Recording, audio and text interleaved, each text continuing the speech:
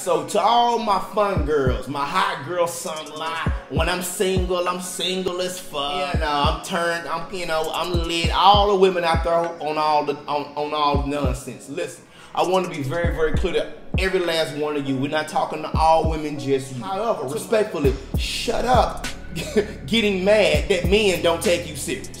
Alright? It's not a secret, men don't respect it. It is not a secret that men don't respect it. It's not a secret that men don't respect it. It is what it is. You knew what you was doing when you signed up for it. Take what comes along with it. You already know men are gonna look at you a certain way. You already know your peers are gonna look at you a certain way if you're around the right people. You already know what comes along with the territory of being a fun girl. So okay, as an adult, ladies, if you're going to choose to be a fun girl and sleep around and have your fun, do you? We're not mad at you, but we are tired of listening to so-called women that's in the street, but then you want to get mad that a man don't take you serious and don't want to date you and marry you or whatever the case is. If you a 304, you know what you is. Quit getting mad that men don't want you long term, baby girl. It is what it is.